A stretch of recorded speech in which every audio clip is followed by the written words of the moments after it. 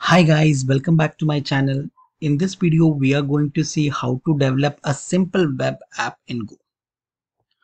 And let me, to create our project, we need to create a directory for it. So let's do Go mod initiate.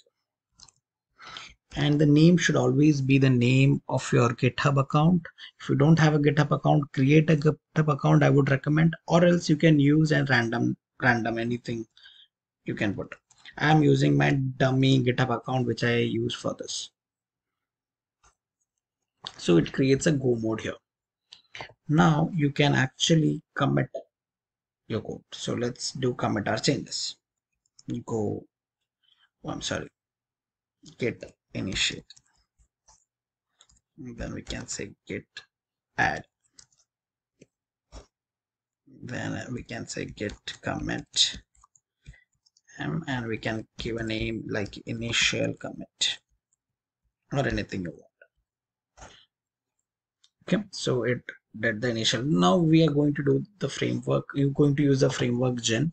So gin is basically a lightweight framework. It is pretty similar to flask for python if you have used. If not it's not a very big thing. It's very simple. Let's let's try coding. Package main. And we have to import github.com slash gin-gonic slash gin. Once we import that we can have a function main. In that we are going to have our I will explain this later. Let's code first default uh, dot. Get hello.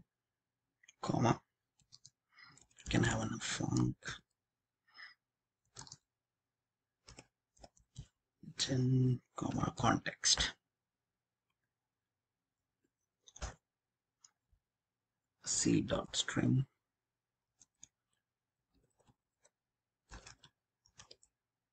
oh c dot it's string and we can give it as 200 comma hello world. Dot and we can say that r dot run. 880 okay if we go ahead and run this go run main.go allow access so it started running. So let's go and see. H localhost 880 it. Will give you page not found. If you hello say hello local. Let's do a random. Okay okay uh, really a random. Okay so my the purpose is actually uh, just to show you that it actually collects it actually shows you whichever page you have been. R equals to gin dot default. Actually this creates a router object r using the built-in default that comes with gin. And then we can assign a handler function handler function to it to any http get request. Like a path we have here is hello. And that will return a string. We have it here hello world.